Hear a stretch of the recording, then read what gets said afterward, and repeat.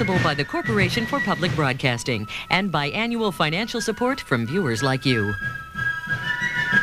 Good evening. I'm Cynthia Smith of KCPT. Thank you for joining us and taking this opportunity to learn more about the three people hoping to become the next United States Senator from Kansas, hoping to keep the state on the nation's political map, as did their predecessor, Bob Dole.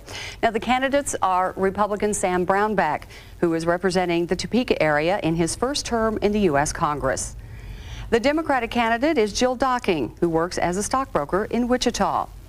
Also from Wichita is the reform candidate Donald Klassen, who works there as a certified public accountant. Thank you all for being here this evening. Before we get to your opening statements, I'd like to introduce our panelists. Steve Rose, publisher of the Overland Park Sun, and Steve Kraske, a political correspondent for the Kansas City Star. We will also be hearing questions from voters during this evening's debate. Our candidates drew straws earlier to determine the order of opening statements, and you will each have two minutes. We will start with Donald Klassen. Thank you for this opportunity to speak. The reason I'm in this campaign is that is because our country is headed downhill financially and culturally. Our debt is at $5.1 trillion. Under President Clinton's new budget, he's going to raise that to $7 trillion over the next seven years. A baby born today is going to have to pay $187,000 in interest on the federal debt over its lifetime. I believe those levels to be unsustainable. Let's look at federal spending. President Clinton proposes to spend $1.64 trillion over the next year. That means we taxpayers are going to have to cough up $1.64 trillion for him to pay. That is $6,200 per person for every man, woman, and child for this year. I believe that's an unsustainable level also. Let's look at the tax burden we have. The tax burden is one yardstick by which we can measure just how socialistic we have become. Over the last 45 years, our tax burden has doubled. It's gone from 23% of the average family income to 43%. And guess what? That tax burden is going to double again over the next 35 years. By 2030, that tax burden is going to be at 82% tax rate. That's to pay for promises already made and passed in the legislation, 82%. Our forefathers, when they revolted against King George III, they were being taxed at 5%. So what can we do about this? I think we taxpayers are going to need to get mad and motivated and demand that we have a national referendum voting system so we taxpayers can vote on all major issues and set the parameters on those issues. Thank you. Thank you. And Mrs. Docking, your opening remarks, please. Good evening. This is a critical election. Kansas is at a crossroads. The center of the U.S. Senate has been hollowed out Esteemed senators like Nancy Kassebaum, Sam Nunn, William Cohen, Bill Bradley are all retiring. The strength of the Senate has been its tradition of balance, pulling ideas from Democrats and Republicans and coming to compromise and closure. The Senate has historically been a moderating influence on the whims of the more volatile House of Representatives. What will happen if we don't replace the senator, center? We will either tilt to the left or to the right or have total gridlock. The Wall Street Journal recently called the departure of moderates depressing. I'm running for the U.S. Senate because I believe we need more centrist in Washington and because I'm concerned about the direction of Kansas politics. The far right is trying to take over in Kansas. We see it in the legislature, three congressional races, and now in this Senate race. If Sam Brownback is elected to the U.S. Senate, the Senate will no longer be the moderating influence on the extremism of the House but instead will tilt seriously to the right. Today, Sam is going to try to sound like a moderate. We're going to hear a great deal about the three R's reduce, reform, and return. But there's a fourth R, Sam, and it's responsibility. We have a responsibility to our parents and grandparents to provide for the solvency of Medicare and Social Security, and a responsibility to the younger generation to balance the budget. We have a responsibility to our children to invest in education so that families can afford to send their kids to college. We have a responsibility to make our neighbors safer so that every parent can sleep easier knowing their kids are secure. It is not my job to vote with Newt Gingrich 94% of the time, as my opponent has done, It is not my job to vote with Bill Clinton 94% of the time or Bob Dole 94% of the time. It is my job to vote for Kansas 100% of the time. Thank you. Thank you, Mrs. Docking. And our final closing remarks from Congressman Brownback. Thank you very much. I appreciate that. Excuse my hoarse voice, please. We've been wrapping up this session of Congress and having some very late nights in doing that and getting some of the most historic legislation through that we've ever had. I thank you for joining us this evening to learn what each of the candidates is about and how we'd represent you in Washington, D.C.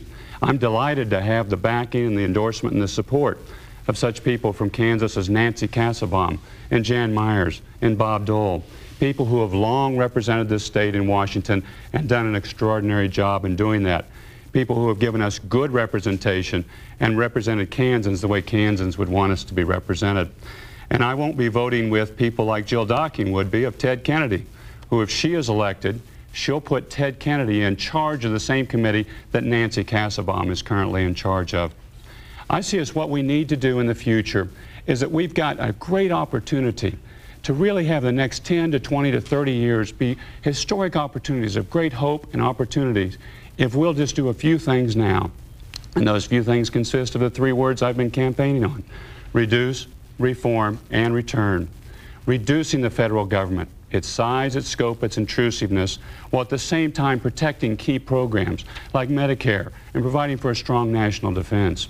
Reforming the Congress, and I've been one of the leading reformers in this Congress, but we need to go further with things like term limits and pension reform, and returning to the timeless values that built the country. Values like work and family, and a recognition of a higher moral authority, wherever you might choose to worship. Those three things, reduce, reform, and return, are a balanced approach to be able to restore the American dream, to be able to give our children, your children, my children, Abby, Andy, and Liz, that hope and opportunity for the future that we each had in growing up. That's why I'm running for the United States Senate. That's why I'd like to have your vote in November. Thank you and for all of you for those opening remarks. Now, you're each going to be given one minute to answer questions from our panel, and after each of you has answered that question, there will be time for a brief rebuttal. Our first question is going to be coming from Steve Rose, and it will be directed first, Steve, to Jill Docking. The teachers union, uh, the NEA, has become a lightning rod for those who think that public education needs major reform. Some see the NEA as an obstacle to that reform. What are your views on public education and the role of the NEA? I think that's an outstanding uh, question. I have been a volunteer in the public school system for many years now, and I can tell you that our teachers work enormously hard to try to deliver the kind of education that they need to to the kids. Um, in terms of just looking at education, I think it is enormously important that we save some of the programs that Congressman Brownback has voted to cut in education, including college loans, safe and drug-free schools, tutoring, and Head Start. I recently was a tutor in my little girl's fifth grade class, and I sat down and I was supposed to tutor in algebra. And I will tell you that the difference between the kid who got it and the kid who didn't was about three grades. I think it is enormously difficult for our teachers to handle all of the alternatives in those schools, and that it is important that we continue the program of tutorials for high-risk children. Congressman Brownback, your, your answer, please. Um, it's a good question. We all support strong public education. I do hope that Jill will start to get some of her facts straight because we have increased student loans, increased them over 50 percent. And I hope if you're running for a public office that you'll get your factual information straight. to me on education, though, what we should be doing with education is pushing decisions and dollars back to local units of government and back to states. And that's what I think we ought to do with much of what we're doing on education at the federal level. Over 90% of education is funded at the state and local level. About 7% is funded at the federal level. And yet we get nearly half of our regulation from the federal level. What I'd like to see us do is to send more of the dollars and decisions back to the local units of government for them to be able to decide. Because it seems to me that that student and that parent and that teacher that's looking that child in the eye are the best people to be able to make educational decisions for our future. And Mr. Klassen, your comments on this issue? Uh, regarding, regarding the NEA, um, I, I, realize they represent the teachers, and, and uh, I have no problem with that, but I think they need to stay keep, uh, keep out of the educational process itself. Regarding uh, our K through 12 schools, um, I'm of the opinion that we need to get the federal government entirely out of education, and uh, I think even the state government, uh, it ought to be strictly a, a school district level situation where the parents and the, and the taxpayers in each school district have the, the authority to uh, set the policies, handle the administration, and do the full funding right at the, scho- at the school district level. And I believe that's the best way to go. Thank you. Mrs. Docking, you have some rebuttal opportunity now. I do have my facts straight. Congressman Brownback did vote to cut student loans by $10 billion. Fortunately, we had the moderates in the Senate who restored a lot of those a lot of those dollars back to student loans. I think it's going to be critically important that we restore a United States Senate that has balance and moderation to, to counterbalance the House of Representatives and a lot of the extreme kinds of policies that they were advocating. So the facts are straight, the facts are documented in any commercial or statement I've made. Thank you. Congressman? And the facts are false, and they're not documented, and I did vote to increase it. And she talks about moderation. I'm delighted to have Nancy Kassebaum's endorsement, and Jill Docking doesn't, whereas she will support Ted Kennedy to chair that same committee. Do you think he wants to send educational decisions back to state and local units of government? I don't think that's the case. I do think what we do need to recognize here, though, is how hard teachers work and what all they're trying to do to educate our children. And it's a key issue for their future and for our children's future and for our country's future. That they do a good job and they be provided the tools and also the decision making capacity to be able to work on these educational issues. I've got three young children, and we've just got to be able to educate our kids well to be able to have a good and bright future for this country. Mr. Klassen, your final comments on this No issue? rebuttal. You pass. All right, thank you.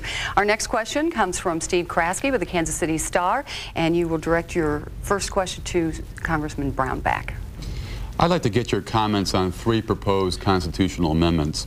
Would you support amendments that would limit the number of terms members of Congress can serve, ban most abortions, and thirdly, allow voluntary school prayer? Congressman? Good key direct questions.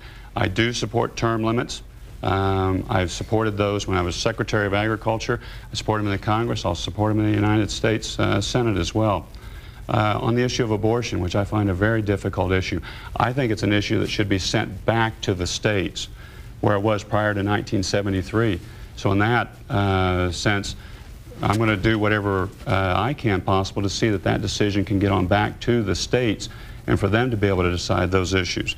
And on voluntary prayer, I support a moment of non-sectarian, non-denominational silence. Now, some people believe that we can do that by statute. The president believes that. Some people believe we need to have a constitutional amendment to do that.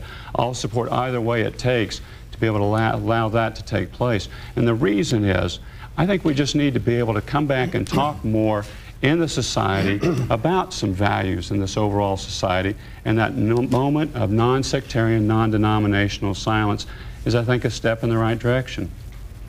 Mr. Klassen? Regarding term limits, yes, I would support such an amendment. Regarding banning abortion, uh, I feel the women of our society are entitled to make that choice for themselves. Uh, regarding school prayer, um, I, I think this needs to be left at the local level. Uh, the, the parents and, and the students in the school districts are the ones that need to make this decision and not the federal government or even the state. And Mrs. Docking? In terms of term limits, I do support um, a constitutional amendment for term limits. I would not support a ban on abortions. I am in favor of giving that opportunity to women to be made between uh, their doctor and their minister and their families. In terms of school prayer, we are discussing this in Wichita, Kansas at the time. I think it is a, a local issue. Uh, our school board is currently discussing the moment of silence. I, in fact, I think Steve Rose has written about that particular discussion. I think as long as it is a moment of silence and children are not felt that they have to do any sectarian prayer, it is a positive thing to do. I think it is useful for children to have an opportunity to reflect quietly at the beginning of the day and to say a prayer or have some private thoughts at the beginning of the day. We have some rebuttal time here now. Uh, Congressman, would you like to add something to this issue? I think the question is straightforward and don't need rebuttal to it. Mr. Klassen? Mrs. Docking? Okay. Moving on, we want to let you know that in addition to the questions from our panelists, we also want to hear what's on the minds of voters during this election season. Watch.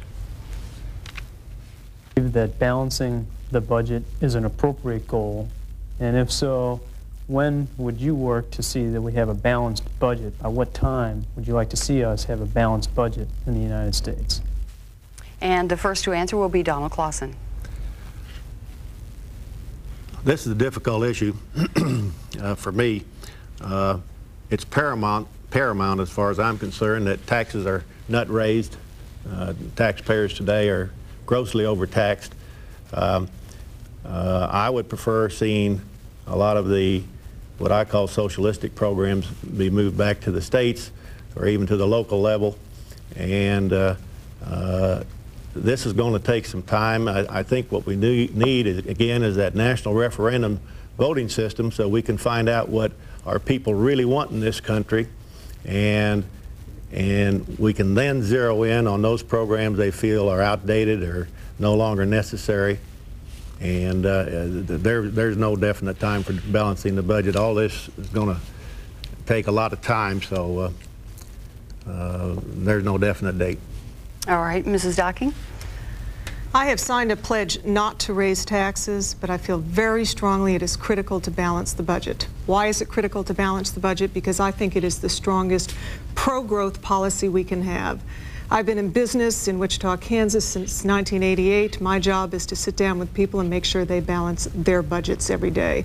I'm a financial advisor and a stockbroker at AG Edwards, and I think it is irresponsible for America to leave debt, the enormous debt we created in the 1980s, to our children. I think the question is how can we balance our budget and do it responsibly without having to slash and burn spending programs that are really investments in the future of our next generation, like education, investments like Medicare. I think we can do that with the proposal by a centrist budget, which I did, I would support had I been in the United States Senate at the time. It does it responsibly without having to slash and burn investments in the future in the next generation of Kansans. Congressman Brownback. It's an excellent question. It's one that this Congress has made a centerpiece issue of, and this is the first Congress in the past nearly 20 years that's actually passed a plan to balance the budget and do it by the year 2002, which is what I support, that we balance the budget by the year 2002. And to me, that's not enough. I think we've got to go even further and not just balance the budget, but start paying the mountain of debt off. That's over $5 trillion, as Mr. Klassen pointed out, and is a, is a growing uh, problem for our children if we don't start paying it off now. We need to do that. And I was on the budget committee that crafted the plan to put that on forward, that passed in the Congress, and we're now making progress on that. And it wasn't even on the agenda before. And as far as, far as uh, Ms. Docking pointing out the centrist budget plan, I've got a copy of that here. It's interesting to me to note that they say in discretionary spending categories, Estimated savings $268 billion, but no way do they say how they're going to save $268 billion. We put forward real proposals, a real plan on how you can balance the budget, and it's critical we do that. Would any of you like to respond to your opponents? Mr. Klassen, you first. No. Mrs. Docking? Yes, please. Go ahead. Actually, there is great detail in the centrist budget as to how they're going to do the balancing and, and the saving of the spending. In that centrist budget also, there are proposals to have the following tax cuts capital gains tax cuts, estate planning tax cuts, and education cuts. I think the point is that they are able to do that without massively decimating spending programs. I don't think it's fair to ask one group or another to sustain all of the cuts. What I do think is fair is for all of us to have a little bit cut, and I think if we're all asked to give a little, we will all be willing to balance the budget. Thank you. Steve Kraske has our next question, and Jill Docking will answer first. Rebuttal on the question? Did I'm sorry. Go ahead. Yeah, go ahead. But don't we all we all get a yes, rebuttal on? I don't go mean ahead. to cut no, in on you. that's all right. But I just I wanted to point out the centrist budget plan. It's a four-page plan that I have here, and under the discretionary spending. And I I serve on the budget committee. I've worked on some of these issues. It says $268 billion that they're going to fill in on that hole. My, my point on saying this is it's easy to sit here and to say, okay, we're going to do it, but we're not going to cut any of these programs or that programs. When you actually get down to doing it, we've got serious problems. And there are very key things that you've got to do in looking to our future and saying, what is it that we're going to do? And we need to do it well. What is it can we no longer afford to do? And let's get out of those programs. We've got to preserve and protect things like Medicare. We've got to do strong on the national defense. These are tough issues that we've got to have real programs answering for those and real ideas coming forward with them. Thank you, Congressman. Uh, and Steve Kraske now does have our next question, and Jill Docking will answer first. I'd like to uh, discuss Medicare. Uh, Congressman Brownback, you've voted to reduce the rate of growth in Medicare by $270 billion over seven years. Mrs. Docking, you said you could support a reduction in Medicare growth of $150 billion. Can each of you explain why you've taken the position you have and what all this would mean to senior citizens? And what I'm wondering is, would seniors have to pay more for benefits under your plan? I think everybody in Washington is afraid to really address the question of Medicare. You know, Medicare has to be cut in order to preserve the solvency of Medicare. The question is, how deep do the guts have to be? Congressman Brownback did propose $270 billion of cut. The centrist budget proposed $154 billion in cuts. I don't know why Congressman Brownback has only four pages. Maybe the copying machine was broken in Washington because I have stacks of pages on the centrist budget with great detail. I think the question is, what difference does the $270 billion and the $154 billion make to solvency and to services provided? Well, it's a cut in the services provided to the elderly in the state of Kansas. $154 billion will help with the solvency. What it doesn't have to do is pay for massive tax cuts. Let's address the issue of solvency. Let's start here and make some cuts and do it with moderation and balance. Congressman? Yeah, well, Medicare doesn't have to be cut to save Medicare. There, nobody is proposing cuts in Medicare. Everybody's proposing continued increases in the overall funding levels for Medicare. We also did something else on these savings in Medicare because if you don't have an increasing Medicare, but not at the same rate it's currently growing at, Medicare goes broke after the turn of the century. It goes broke, and that's according to Clinton's trustees, President Clinton's trustees. So we have to have that rate of growth not be at the current level, which is about 10 some plus percent. My proposal, what I supported, was somewhat 7 percent increase in the rate of growth of Medicare. We created a lockbox on the savings in that and said that has to go back into Medicare and not be used for tax cuts, as others have misrepresented it to be. What I proposed as well in this is that people have options that are opened up to them under Medicare. And they don't just have to stay on this current plan they're in in Medicare that they can have, but they can go in and use their old insurance plan if they'd like to, or if they want to stay in, or get into an HMO or some sort of managed care type of system. And we try to open up options for people that are currently in Medicare to save and preserve and protect it. Mr. Klassen? The uh, Medicare Medicaid uh, problem is, is, a, is a very difficult one for me. Um, perhaps we can get back to time like in the, uh, the, early 40s, the Hill-Burton Fund, where the government, these were government funds where they would pay for one half of a hospital cost and local citizens would pay for the other half and, and, and, and part of the uh, uh, commitment by the hospital then was to take care of the, the poor. Um, perhaps we need to look in areas like uh, uh, retired doctors, uh, perhaps they'll, they would agree to uh, uh, volunteer some of their time, kind of as mission work. Uh, uh, uh, this whole issue is is is is, is a is a difficult issue. Medicare, and I mean medical services are absolutely required both by the poor and the elderly, and and must be given. I feel, but we've also got to find some way to cut cut back and, and perhaps volunteer way might be a solution. Okay, let's go back around the table with this same question for rebuttal time. Uh, Mrs. Docking? Okay. Since I haven't been to Washington, I don't know Washington speak. What I understand is numbers. There's either a $270 billion cut or $154 billion cut. And there have to be cuts, folks, to maintain the solvency of Medicare. There isn't any question about that.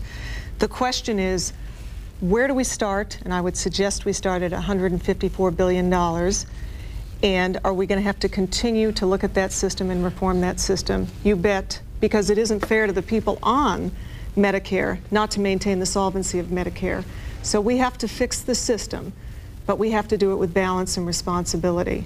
And I'm certain if we ask all Americans to give a little bit, they will do so in order to provide for the solvency of those people on Medicare, those about to go to Medicare, and the younger generation of Americans. Congressman? Well, I believe uh, Jill was in Washington last week, uh, so made it there at least that period of time. You know, there's something else that we also ought to hit on in the Medicare issue because this is a critical issue. Nearly 35 million Americans get their health care from Medicare. A number of my relatives do as well. I think that's the issue of fraud and abuse in the system. We need to be able to figure out how we can get rid of some of the fraud and abuse in that Medicare system.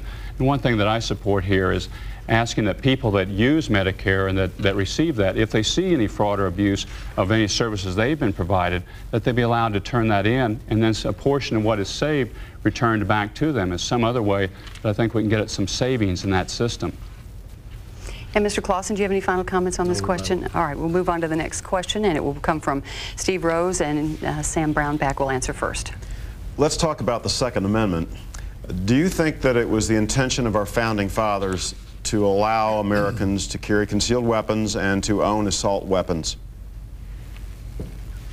Well, I think it was the intent of the founding fathers, as they said in the Second Amendment, uh, which is allow uh, citizens the right to bear arms.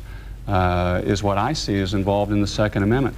Then you draw it down into specifics uh, of, well, what does that mean, the right to bear arms? For instance, assault weapons, true assault weapons, have been banned for some lengthy period of time. These are weapons that once you pull the trigger, multiple shots come out. And those have been banned since sometimes in the, sometime in the 30s. And I don't think people have any problem with saying that that's not a violation of the Second Amendment. Uh, I didn't see particularly that the Brady Clause was a violation there. Yet some of the other further permeations of that, where you get factors put into place, uh, such as happened in some recent bills, uh, that could be interpreted many ways, I think can be interpreted against it. But the bigger point here is this. A lot of times this has been substituted, the issue of gun control, as an issue of dealing with crime, when what we need to do with crime is if people are committing a crime, lock them up. If they're committing it with a weapon, lock them up for a longer period of time. And Mr. Klassen? I support the Second Amendment, and I would vote for conceal and carry in the state. Um, uh, the Second Amendment, I think, gets down to uh, um, the right to defend yourself, and uh, uh it, it's also a safeguard on on uh, excesses of government. So I, I support the Second Amendment, and I believe that's all I've got to say on that. Mrs. Docking, your comments, please.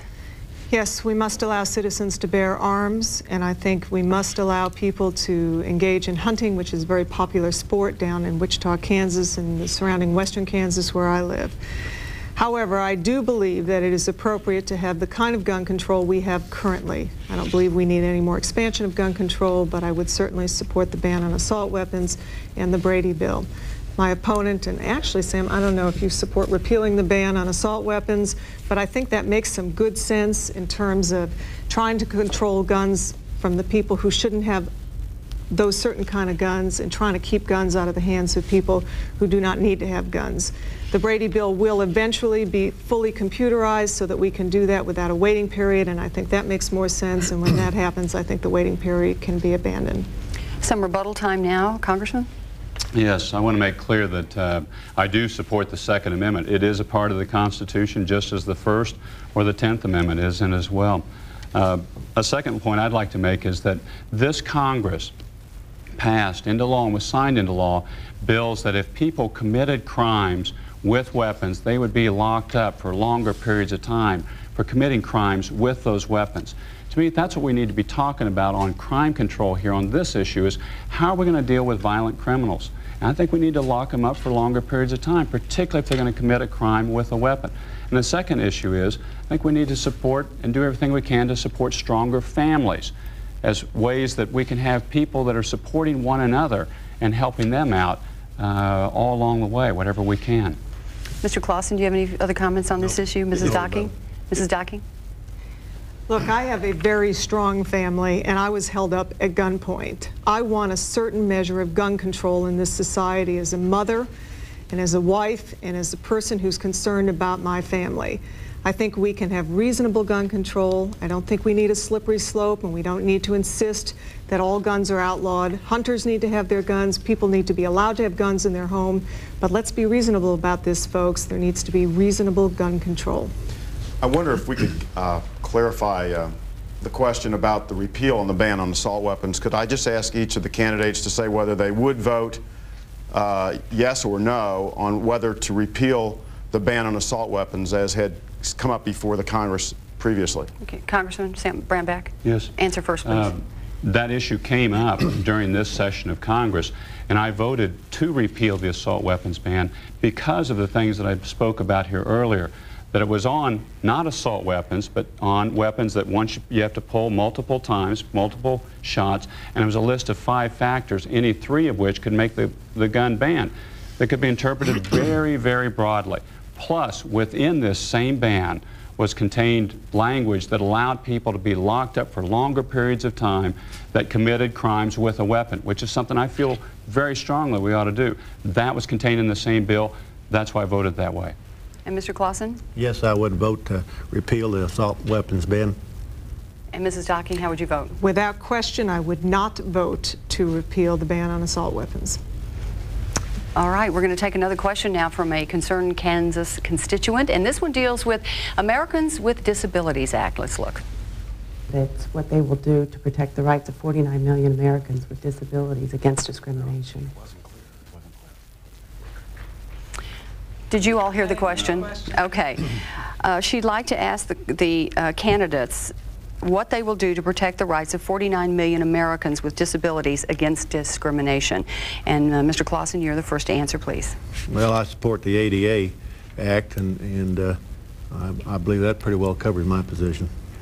All right, then Mrs. Docking, your comments, please. Yes, I, I would. I clearly support the ADA Act, but I, I, would bring up a point about using some balance on the ADA Act. I mean, I think there are instances where it is enormously unreasonable, uh, the kinds of impositions put on businesses to, to respond to ADA. I think we need to look at the kinds of things we're asking businesses to do. I sat with a businessman recently who uh, told me of the enormous frustration and enormous expense he had to build a hot tub in the basement of a health club and then he had to build a new elevator so that people could go up and down in the basement. And he was just kind of plain frustrated with the fact that nobody could respond to him reasonably.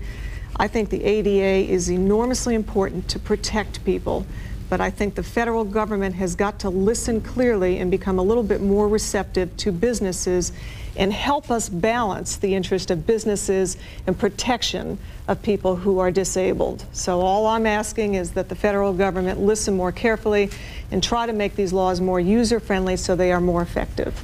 And Congressman? Uh, one of my good friends is a quadriplegic, and uh, uh, helped get this law passed, the ADA, Americans with Disabilities Act. And it is a key law and something we should enforce. Uh, I agree fully with what Jill Docking is saying in this particular case. And let me give you, let me give you the example of what I've seen taking place in my congressional district. In Lecompton, Kansas, they've had a ramp going up. Lecompton's a town of some 700 people. They've had a ramp going up to their fire station um, that served very well for people in wheelchairs to be able to get up. It was about a 17-foot long ramp. ADA came out and they said, no, 17 foot feet won't do. It has to be 20. Uh, they've never rejected anybody with a disability from getting in. That's a case where you do need more, more flexibility coming out from the federal government for them to be able to work more with people that want people with handicaps and disabilities to be able to get in. And there's a case where we need to be listening and working and be much more flexible and not as dictatorial. And that's something I'll be working for as well. Are there any other comments of, on this particular issue? If not, we'll move on. And our next question comes from Steve Rose, and Jill Docking will be the first to answer. Uh, yes, I, we've heard a lot about uh, Newt Gingrich and Ted Kennedy tonight. Uh, I would be interested in knowing, I think our audience would too, uh, what do you think should be our greatest concerns about electing your opponent, but please leave out any other names of any other elected officials that are serving today. Just talk about your opponent, if you would, please. Well, I, you know, I, I, believe that my opponent is not representative of the broad base of moderate Kansans in the state of Kansas. And I refer back to his own primary where he referred to Sheila Frahm, the candidate he ran against in the primary, is a liberal because of her voting record. I know Sheila Frahm. Sheila Frahm has been a very conservative state senator in the state of Kansas. I thought it was enormously unfair to brand her with the kinds of things Congressman Brownback was branding with her, and may be indicative of the fact that he is off the scale in terms of representing the middle. We have a tradition of moderation and balance. I believe that's what Kansans want in their next U.S. Senator. I come from that tradition in terms of my own family background and strong business background, as well as marrying into the Docking family, who believed austere but adequate was the way to run government, run business, and run a household. Congressman Brownback? Well, um, I think Jill Docking's an excellent person, but she's not representing herself. Uh, she's representing herself different than what she is. 1988, she chairs the Michael Dukakis presidential campaign in Kansas. Michael Dukakis is the most liberal nominee that the Democrats have nominated over the last 20 years. She's chairing the campaign for him and now running as somebody that says she's a moderate, conservative, centrist uh, candidate uh, representing that she's in the Kassebaum tradition. When Nancy Kassebaum has endorsed my candidacy because she knows that I represent closer to her standpoint of views than what my opponent Jill Docking does represent. Uh, she doesn't support a balanced budget amendment. Uh, most Kansans do support that. Um, she's not being clear as to how she would balance the budget and laying forward clear choices of what you would actually do to balance the budget and instead just saying very general terms and we won't cut this or cut that but at the end of the day, choices have to be made.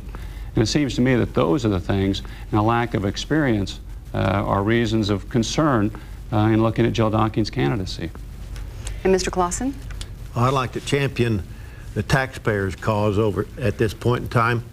Uh, uh, neither one of these candidates here has uh, mentioned the taxpayers' plight in our society today, but it, it's not just these two candidates, it's, it's all of Washington, I feel like, our whole political system. We have program after program and legislation after legislation passed, and the taxpayer is never given a second thought. Uh, he's just assumed that he's he's a bag full of money, and and anything the political elite in Washington think is a good idea, they'll pass, and they'll pass on the payment of it to the taxpayers and I think it's time that we taxpayers start having a voice in Washington, D.C., and I hope we get some kind of organization put together to do that. Thank you. Any further comments from either Mrs. Docking for your first? Go ahead. I, th I, thought the rule was not to mention any national figures, so I'll, i think Michael Dukakis probably qualified as a national figure. But you know, I think the centrist budget, which I would support, has very clear definition as to how to balance the budget, what kind of spending cuts will be made, and what kind of tax cuts would be made. Perhaps the best people that understand how to run business are those that have been business and not been professional politicians. I come from a tradition of the docking tradition where my father-in-law schooled us in the fact that you are to raise your family, be involved in your community, start your own business, serve in public life, and then get out have a life before you get in, go get a life after you get out. We do not believe in professional politicians. We believe the best people to balance a budget are people that do it every day in their own businesses. Congressman Brownback? Well, the Brownback family doesn't boast a uh, political heritage of people being involved in politics for generation on generation. We're farmers, uh, been farmers for a number of generations down south of Kansas City, about 50 miles. I do want to uh, come back to what Mr. Klassen said because he's got a key point, and that is that the American people are taxed to the max, and that's why I voted to cut taxes. That's why I support a cut in income tax rates and a cut in capital gains tax rates because the average Kansan now works until about May the 7th just to pay the taxes. It's too long, and we need to cut that back at the same time that we're balancing the budget. Mr. Klassen, you have any final comments on this issue? Okay, the next question then will go to Congressman Brownback, and it comes from Steve Kraske. I'd like to talk about another major issue of our times, which is Social Security. Do you favor means testing for Social Security recipients whereby those who earn an income above a certain level would not receive benefits? If not, what's your plan for saving the system? Uh, My plan for saving the system are twofold at this point in time. Number one is that we need to put in real assets into Social Security. In other words, right now what's taking place is Social Security funds are taxed, tr- go into the trust fund, and then move automatically out into the flow of overall government. I think we need to put real assets into Social Security. The second thing we need to do to, to maintain Social Security is balance the budget. In 15 years, the baby boomers start retiring. And at that point in time, instead of having a Social Security surplus, we start having people pulling more out of Social Security than what's going in. We've got to balance the budget now and start running account surpluses at this point at, as soon as we can so that we'll be able to meet those obligations that we're going to have in future times. Now, I've supported means testing in Medicare, and I think that's appropriate there, but I have not uh, supported it in Social Security. And Mr. Klassen, your plans for Social Security? Well, here we have another socialistic, prob- uh, socialistic program that is heading towards bankruptcy, which is the, uh, uh, the cornerstone of all socialistic programs. Um, I would like to see whether our populace thinks it's about time uh, for Social Security to uh, either be totally revamped or maybe even looked at at at phasing out. You know, in 1937, when Social Security started, the maximum tax was $60 a year. It is now $99,600 a year. That's a 16,000% increase. Now, in order to keep Medic or Social Security from going bankrupt, the tax rate has had to been increased 21 times and the tax base 30 times. And it's probably time to take a look at this in depth, see how what kind of support we really have in our society for this. And there are ways to phase out. None of them painless. They're all they all take sacrifice. But um, I think if we take a look at the history of this plan, uh, there's clear indication to me that we need to take and, and, and take a serious look at it, at the viability of it. Mrs. Docking? I oppose means testing because I think it threatens the integrity of the system. The problem will be that for those people making a lot of money who are young people feeding into the Social Security system, if we means test those that clearly can afford to be means tested out, I think you will have a taxpayer revolt because they'll be saying, why am I putting all my dollars in when it's going to be means tested out? How do we solve the Social Security system? Because I do financial planning every day with people, I would suggest the following. You must protect the people currently on Social Security and those getting close because they've made plans and they have evaluated how much they need in retirement and it's too late to change the rules. For baby boomers, my suggestion is that we look at the, at the Kerrey Simpson Act, which is a bipartisan proposal to allow baby boomers to put 2% of the 12% of their withholding in something like an individual IRA. If they are allowed to do that, because I'm in the brokerage business and understand this, if you give people the opportunity to grow their assets a little bit more aggressively, at least the baby boomers will have a chance at retiring with some assets. And Congressman Brownback, you have additional comments on this issue? No, I don't. Okay, Mr. Klassen? No. And Mrs. Docking? No. Okay. We'll move on now and take one more question from a voter. This one deals with a topic on the minds of so many, health care and welfare reform. They were going to reform uh, health care or welfare. How would they do it? And would they cut out, would they um, make it to where it would be more strain on the lower class, middle class, or more for the upper class? Did you all hear the question? Mr. Klassen, you, uh, your answer first, please. I think uh, in order for us taxpayers to afford the welfare system in, in, in our society today, we're going to have to bring the welfare system back to the county level. Um, what we have now uh, in Washington, D.C., and of course, there was just a, um, uh, a new Welfare Act uh, passed here, but we taxpayers have been sending a dollar, for every dollar we send to Washington, D.C., only 28 cents finally gets back to the welfare recipient. Now, United Way can get 90 cents out of a dollar back to the uh, to their beneficiaries. So we have a grossly inefficient system set up. We need to get it back to the county level, get away from the state and, and the federal government involved. We get away from all the overhead, all this extra. We have all this area that you can have fraud and abuse in, If you go down to the county level, you have local people working with local beneficiaries, and they have a lot more access to churches and, and charitable groups. And I think we must get that to that point, or we taxpayers just won't be able to afford the bill. Mrs. Docking. I'll address the health care piece of that, of that issue. I've taken issue with the, the radicalness or perhaps extremism in the Gingrich Congress. Let me take issue for a second with President Clinton. I believe his health care plan was another example of a radical plan that wasn't going to work.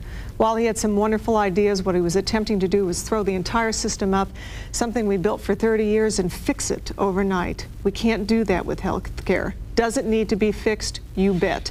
How are we going to do it? Well, I thought what Senator Kassebaum and Senator Kennedy did made a lot of sense. You took two United States senators who couldn't disagree more philosophically they came together in a compromise in the Kassebaum-Kennedy bill, which I think addressed in a very good way the issue of portability, allowing people to move from job to job and still maintain their insurance. That is the kind of compromise and balance and moderation we need. What we don't need is grid, gridlock and people not agreeing with each other and being ideologues. We all need to come together, we all need to give a little bit and address the issue of health care. And Congressman Brownback? this Congress we just completed last night that gave me this raspy voice produced both welfare reform and health insurance reform, along with farm program reform, telecommunications reform, line item veto, congressional reform, lobbying reform, and, a, and the first balanced budget in over 20 years. The way I would do it is the way we've done it in pushing forward in this Congress in welfare reform. We ended welfare as we know it. We sent it back to the states in block grants and said to the states, we have failed the people at the federal level in dealing with this. Have the states deal with it on all of it except food stamps, and that remains at the federal level. On health insurance reform, what came forward was Senator Kassebaum coming forward with a plan where she said, here are some major reforms that we can do in health insurance for portability and get us out of job lock. I was an original co-sponsor of that legislation in the House of Representatives and put it forward. And this Congress, this supposed gridlock Congress, the people that actually passed these two key reforms and changing these systems for the better. Now we have a little bit of rebuttal time. Any other comments, uh, Mr. Klassen, on this? No. Mrs. Docking? Yes. I think we have a long way to go on, on making our system a better system. What I think is important is that we elect people who are centrist, who know how to cooperate and bring together compromise. We can't afford to shut down the government anymore. We can't afford gridlock. We all have differing opinions. What is important is that we elect people in the center who believe in moderation and balance and can bring together competing ideas and competing signs and find resolution for all of us. And Congressman? Well, I think it's more important that we get people elected that get things done and that have an idea what they want to try to do when they go to Congress. And I've laid out plans of what I want to do in Congress. We've gotten a number of those done. I'm laying out plans of what I want to do in the United States Senate and representing Kansas. And we're going to be able to get those things done as well. Seems to me that that's what's critical and what's important. This is a historic Congress that's accomplished these things. And yet others seem to try to label it one that's locked in gridlock. And yet look at the major accomplishments that got done just in these two fields of welfare reform and health insurance reform. Two years ago, President Clinton tries to nationalize health care and, and tries to add to welfare rather than doing what we did with it. I'll be able to get things done in the United States Senate the way we have in the House as well. Before we go to our two-minute closing remarks, I would like to uh, uh, throw in a, a, very brief question here uh, from the moderator, and you will have 30 seconds each to answer this question. It could be a yes or no question if you so choose, but the question is, would you support funding for the National Endowment for the Arts and the Corporation for Public Broadcasting? Mrs. Docking? I absolutely do support that funding. However, I will tell you, because I know they're near and dear to your heart, but I don't, I don't think there are any sacred programs out there. Everybody's going to have to give a little, like I said to you, but I absolutely support the funding as long as we can make them cost effective and they are on the board like everybody else is. And how do you feel about that, Congressman? Well, on those two issues, on NEA, National Endowment for the Arts, I've supported a phasing out of that program over a period of three years and putting a trust fund together at the end for them to operate on their own. And the point is simply this, we're broke. And we just can't afford to do everything that we've been doing in the past. And it seemed like to me that this is a way that we could be able to get this done. It's nice to be able to say we're going to keep everything and do a little bit less of each thing. We're $5 trillion in the hole. Corporation for Public Broadcast, I'd like to do the same sort of phasing out over a period of time. And I used to work for an NPR affiliated radio station, not with this voice, uh, but that's the sort of thing that we're going to have to do to get the budget balanced. And Mr. Klassen. No, I would not support this. All right. Thank you all very much. We're going to go on now to our closing statements. A reminder, you will each have two minutes, and we will begin with Congressman Brownback. I want to thank you all very much for joining us this evening and for watching and listening where each of the candidates stand so that you can become a better informed voter in making your own decisions. You know, it, it seems like to me that this election is about which direction we're going to choose for the country to go in the future. Over the past two years, we've made some historic changes. And we made those historic changes along a path of decentralizing decision making, a smaller federal government, balancing the budget, individual decision making, families and communities being the core and centerpieces rather than a big, massive federal government directing things out of Washington. And if we keep going that way, we win. But if the liberal left gets back in control, and if the Democrats win, if Jill Docking, my opponent, wins this election, the, the, liberal left will be back in control of the United States Senate. Ted Kennedy will chair the committee that Nancy Kassebaum is currently chairing. He believes in nationalizing health care and in a bigger, stronger federal government. That's not the way we want to go. I don't think that's the way Kansans want to go, of saying, well, we need to call Washington to ask, as we have been doing in the past, or we need to wait in line to see if we can do that, as we've had to do some in the past. It seems to me that that's what we're about is which of these directions do we choose to go? Because that's who's going to be setting the agenda once it goes to Washington. We've made historic changes these last two years, as I've listed some earlier. Farm program changes, where the farmer now decides what to plant, not the government. We've made changes in health insurance and welfare reform. We've done a gift ban in the House of Representatives. We've cut the budget for Congress over $200 million and done away with things like subsidized haircuts and beauticians, things that have been there for 40 years that we didn't need to have. Which way are we going to go? And I think for our future, to restore the American dream, we need to give power and authority back to the people, back to the states. That's why I'm running for the United States Senate, and that's why I'm asking for your vote. Thank you, Congressman. And Mrs. Docking, your two-minute closing statement, please. Thank you, KCPT and Public Television for this opportunity. You know, we do all have different visions of America. I come from an immigrant background. My grandmother and grandfather came to this country with no money and no ability to speak English. And America cradled our family in her arms and allowed us to grow a business, grow in the community, to grow our families. But let's talk about what we need to ensure the American dream for our children. My vision of America is an America where everyone's included. We have a responsibility to balance the budget, to continue to invest in our children and the safety of our community. We have a responsibility to take an active part in the process. You know, I'm asking you this evening to accept a challenge. Vote for the person that best represents you, regardless of partisan interest. Get involved in the political process. I accepted a challenge on June 12th to enter politics and leave a comfortable life. I'm blessed with a wonderful husband, great kids, and a very successful career. But I believe it's critical that centrist in Kansas reclaim leadership in this state. I'm enormously proud of all the people from across the political spectrum that have accepted the challenge to work with me. Moderates must make a stand in this election, for we truly are at a historic crossroad. I need your help and I need your vote to ensure the future of Kansas is based on the same sense of moderation, balance, and fairness as is our rich history. Thank you very much for taking the time to listen to each and every one of us this evening. Thank you. And Donald Klassen, your closing statement, please. Again, thank you for this opportunity to speak.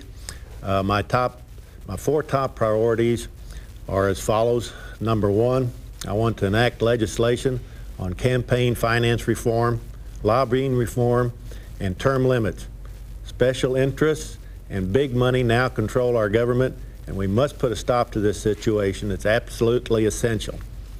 Number two, we must take and reduce the tax burden on the taxpayers And we do this by putting us taxpayers in control of our government with this national referendum voting system I mentioned earlier. So we taxpayers can personally vote on all the major issues and can set parameters on those issues. Number three, we must shrink the federal government by eliminating all non-federal agencies and non-federal programs. This is the only way we taxpayers can get our government costs under control. For the most part, this means getting rid of those functions not provided for in the U.S. Constitution. Fourth and lastly, I want to make sure we protect our good-paying blue-collar jobs, protect our high standard of living, and protect the middle class that we have. We must protect our industrial and manufacturing businesses, and we do this with trade agreements that look out for American interests, not foreign interests. It's time we Americans look out for ourselves so we can once again feel secure about our jobs, once again take home a paycheck that'll pay the bills, once again have plentiful jobs available for our young when they graduate from high school. Our current trade agreements are gutting our financial base, and this must be stopped. Thank you for your attention. And thank you all very, very much. Sam Brownback, Jill Docking, Donald Klassen, thank you for sharing your ideas and your vision for Kansas, and I wish you all luck. Uh, this uh, election season in November. And we hope you'll all go to the polls as well. A special thanks to our panel, Steve Rose, Steve Kraske. Thank you very, very much. Good questions. And thank all of you for joining us for this special program. We encourage you to stay tuned for PBS Debate Night, the future Congress is coming up next, and at 9 o'clock this evening, you will meet the candidates running to replace Nancy Kassebaum in the U.S. Senate as they participate in a live debate from Manhattan. Now, on October 16th, and October 6th and 16th, you can watch the presidential candidates debate right here on KCPT, as well as a debate between the vice presidential candidates. That's coming up on October 9th. And there are other political programs coming up on KCPT that you will not want to miss. For now, I'm Cynthia Smith. For all of us here at KCPT, thank you for watching and have a good evening.